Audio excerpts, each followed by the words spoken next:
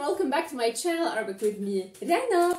Welcome to my new series of Fayrouz songs. I know you all love that. We are going to have a song each video, translate it, study it, search for the metaphors in it and break down each sentence in it. Today's song is called Bwab. Bwab, which means doors.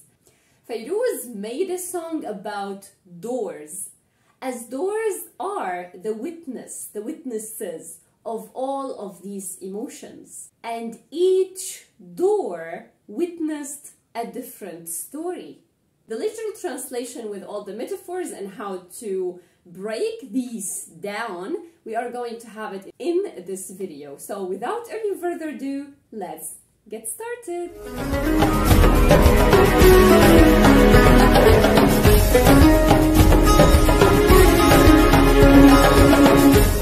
Bwab is the title of this song. Bwab. Bwab is the plural form of the word bab. Bab is just one and bwab is the plural. Now let's get started with the first sentence of this song. على باب ننطر تنودع الأحباب. This is as the whole sentence. Now I will break it down.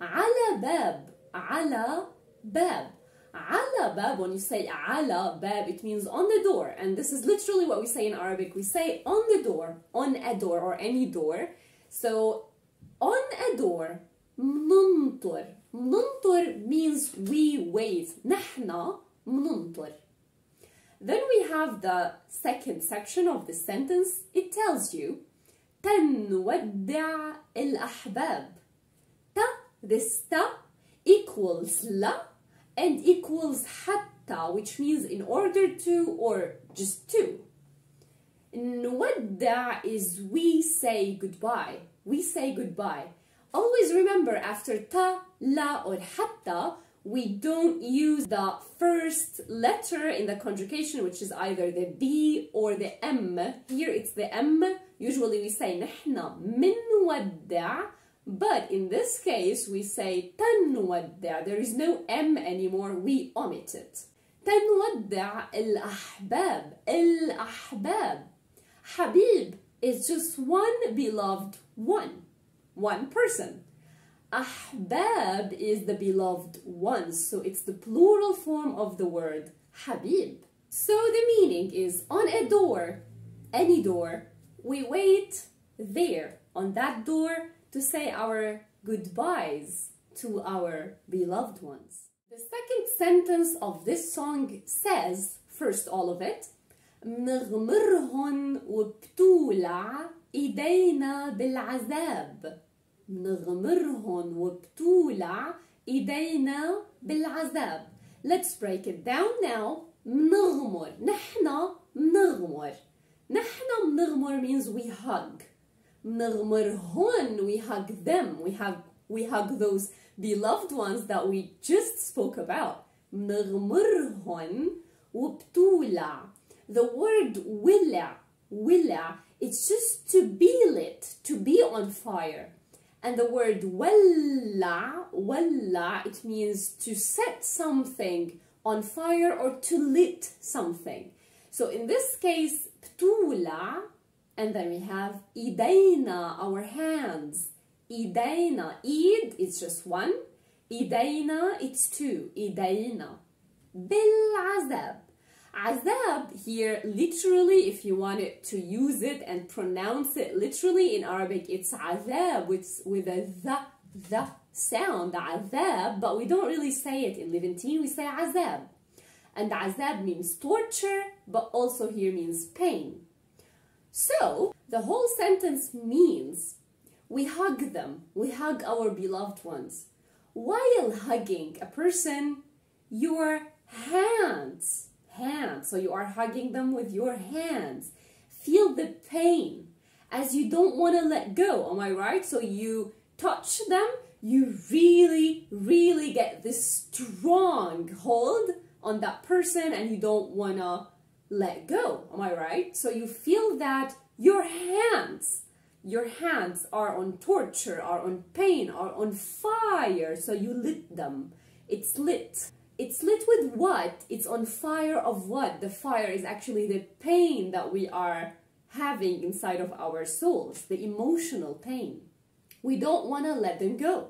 Next one says, بواب بواب شي غرب شي صحاب بواب is again the plural of bab غرب is the plural of غريب and غريب is stranger or strange so you know now that it is the plural of stranger غرب and then صحاب you already know the word أصحاب which means friends we can also say it as صحاب there is no problem so صحاب means friends not really just friends but those beloved ones again the word she here means some. It does not mean a thing, so we can use it as some.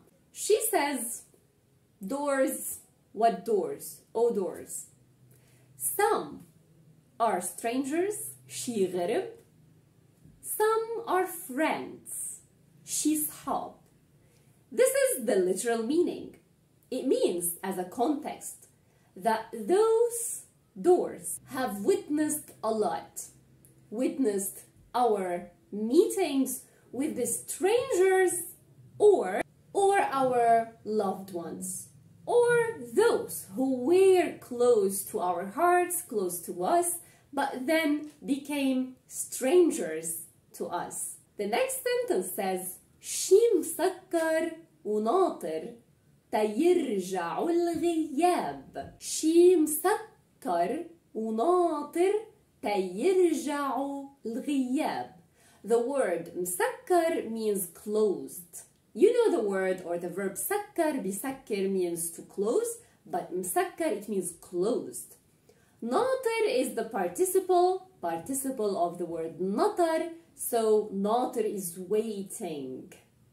Ta, again, the word ta or the letter ta means to, in order to. يرجعوا, they come back. Who are coming back? We have the subject afterwards, which is, or which are, الغياب. الغياب is the plural of the word غايب, and غايب means absent. So the absent means like the absent people. The absent people are the people who are not in their houses, not in their homes, not with their families, they are traveling. They are just like immigrating or something like that. It means that some doors are just closed, waiting for their families to come back or to come open them these doors again and take care of these houses again. Of course, we are speaking here about doors, that's right, but we are speaking about the memories in those homes, the memories in these houses, not only the material door. Not like a word, of course, it's just like a metaphor of all of the feelings and memories inside of each house. And then Fairuz says, ah, ah, ah, le bwab. So this ah, it means like oh, doors. Ah, this ah that comes from the person in Arabic, in poetry or in songs, means that someone is feeling the pain. So I, I actually, you, you say it in English as ouch. We say ah, or ugh. So ah in the poetry in Arabic, it means oh, oh dear. Ah الابواب. And then she says, she continues saying in that song, وقت اللي بلوح لك وبسكر الباب وقت اللي بلوح لك وبسكر الباب Let's break that down وقت اللي وقت اللي you can say the word وقت without اللي but we are used to say وقت اللي which means when وقت اللي وقت اللي بروح على المدرسة بشوف أصحابي for instance so it says وقت اللي بلوح لك وقت اللي when بلوح لوح is to wave for someone as high or by بلوح it's used in Levantine a little bit, but this word comes from standard, which is لوح لوح يلوح to wave. So Fairuz got that from standard Arabic, but you can say the word it equals in Levantine hawa. Hawa bihawi, that means also to wave. But here she is using lawah or bilawah. You can use both of them equally, it's fine. So وقت اللي بلوح لك when I wave to you. She is speaking about saying goodbye. When I say goodbye to you وقت اللي بلوح لك وبسكر الباب and I close the door. When I wave to you, saying goodbye, and then close the door, she says بياخدني الحنين. The word حنين, which is also a girl's name in Arabic, it is nostalgia. So this is حنين. She's saying بياخدني الحنين. So الحنين is, here is the subject. So the nostalgia actually takes me. بياخدني الحنين. What she actually means by that is that the nostalgia takes me out of this reality to my own thoughts when I say goodbye to you and to my own imagination. Then she says, فكر فكر راح اشتاق لك فكر راح اشتاق لك فكر is I think I think راح is for the future and اشتاق luck is I will miss you. I miss you. So I think, فكر, I think I will miss you means I know that I will miss you. Not just thinking about it, I know that I will miss you a lot. And all of these emotions come to my mind at that specific moment when I say goodbye to you. Then she says, فكر عهالباب رح انطر سنين فكر عهالباب the ha ha letter it's actually halbab so this door or that door or this whatever so we can replace the word hada or hadi or haida or haidi with the letter ha that is just a briefer way of saying this that those these etc so فكر عهالباب on this door رح انطر I will wait سنين for years رح انطر سنين so I start thinking when I say goodbye to you at the door I start thinking at that door on that door that I will wait for years until I see you again if I ever saw you again and then she says ah ya bab again she is being in pain because of whatever is happening at that door. آه يا باب المحفور عمري فيك. She is speaking to that door. She is saying, Ah, ya bab. It, it's just like, let's imagine the door is now in front of me and I'm saying, Ah, ya bab. So, oh door, you don't know how much I am in pain. So, Ah, ya bab المحفور The word mahfur means engraved. Mahfur, hafar, mahfur. Hafar is to engrave. Mahfur is engraved. Umr is the age, but we use it as life. So, she is saying, O door, or what a door, that my life is engraved in you or on you. Means that Fairuz is saying, Oh, what a door that has all of my memories inside of it. The next sentence says راح انطر راح انطر وسميك باب العذاب راح انطر means I will wait راح انطر سمى بيسمي is the word to call to call someone to give a name for someone you can say سميت ابني whatever. So I called my name, I gave a name for my children, for my kid, for whatever, which is Rana, for instance. And then again, we go back to the word azab, which is torture or pain. So the meaning of this sentence is I will wait, I'm waiting, but I will call you the door of pain. She says that I will wait. Okay, what can I do?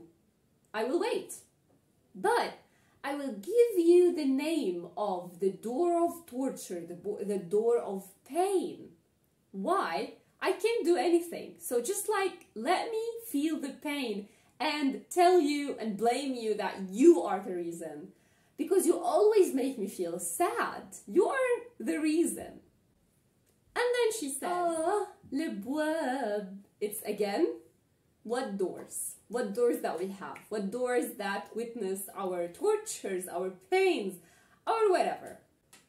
And then she says, في باب غرقان بريحة الياسمين So let's break it down في باب غرقان بريحة الياسمين So غرقان is the word from غرق غرق or غرق which means to drown so غرقان is drowned ريحة is the smell ريحة ريحة and yasmin is the flower of course which is jasmine so she is saying there is a door there are doors there is a door which is drowned with a jasmine smell she means that some doors are just happy their families are taking care of these houses of these doors and then she says في باب مشتاق وفي باب حزين. She is now counting the types of doors. Fairuz is counting the types of doors. So she's saying basically في باب مشتاق مشتاق is a missing person the person who misses someone or something and في باب حزين حزين is sad is an adjective there is a door that misses its family, another door that is just sad. Maybe because they lost someone they love, maybe because there is no one around them. And then she says, في باب مهجور أهل منسيين. Mahjur is the word that means abandoned, which is an adjective. It comes from the word hajar, biyhjur, to abandon something or someone. Hajar, bihjar. Don't mix that with the word hajar that has an ah in the next place, in the second place of the letters. Hajar, which means to immigrate, and bihajar. And you can see that Arabic is so logical because hajar is to abandon something and hajar is to immigrate, which of course you are immigrating, then you are abandoning someone or something.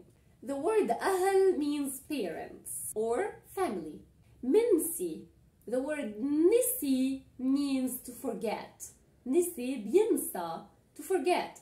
Minsi is forgotten. So she's basically saying there is a door that is abandoned, its family is forgotten.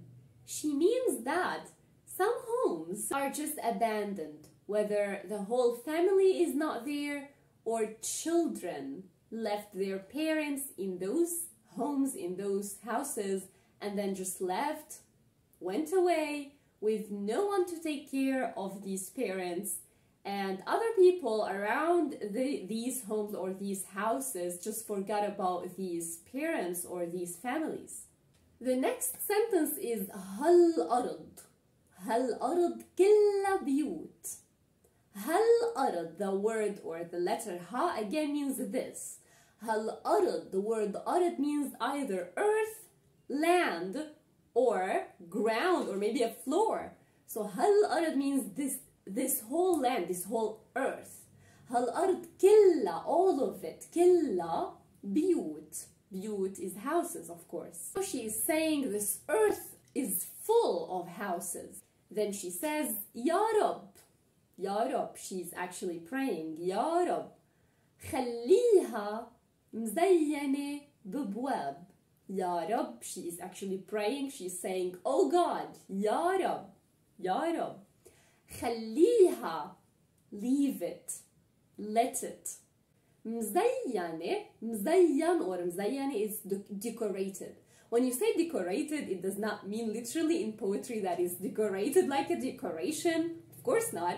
it means that whenever you have something that makes a joy to your life it's actually a decoration to your life so يا رب خليها مزينة decorated with doors ببواب she is saying oh gosh praying for God please, please bless these homes with doors she means that she hopes everyone feels happy in their homes in their houses she hopes that no one leaves their family because they have to she she wants maybe she hopes for a better future for whatever that is good but always always visit the beloved ones always see them always be there for them and then she says ولا يحزن she's continuing her prayers ولا يحزن ولا بيت ولا يتسكر باب she's again praying لا يحزن ولا بيت ولا يتسكر باب she's also praying حزن is to feel sad بيت again is house تسكر is to be closed to be closed not to close to be closed and bab again is the door she wishes that no door will be sad and no door will be closed again she is praying for people to always be happy, to always be with each other, to always be close to each other, and never close a house, close a door, and leave their memories inside and leave all of these memories that you miss, that you will miss, that you always will miss, that you always wish that you will never leave again. So this was the first song of Fairuz. I hope you like it. I really like this song because I feel like this song is about the Lebanese and Syrian people because they left their houses. They did not want to. Um, we did not want to. We did not want to leave and, and leave all of these memories, all of the things that we love. We did not want to um, maybe sell our houses and go we did not want to never see our families again. We wanted to come back. We want to, to see our families. We want to be close to them. We are in love with them, but sometimes it's just like life and life, ha life happens. Some things happen, some people feel that it's too much and so on. So this song is really good. I really like it. It's so close to my heart. The rhythm of it is perfect. Fairuz's songs, all of them are just perfect. But I wanted to start with this song especially because I love it and I feel that all of the metaphors in it is, are so so close to the heart and so emotional. So this is why I like it and I want to know if you like it too. If you like it, do not forget to hit the thumbs up and share it with your friends who are learning Arabic or they love Fairuz or they are just musicians or they love music or whatever. Of course, I will add the link of this song in the description below so you can see it. And I wish you like this video if you like this series and if you like me to continue with this series because I really want to. I really like it if you like it too, just like comment, comment, comment, comment. If I saw lots of comments, then I will just like feel that you love it. If you love it, I will just continue do it. I will continue to make these videos and I will continue to make the love of Fairuz all around the world. Love you so much guys and don't forget to share, comment, like, whatever, whatever you want, comment, like do something.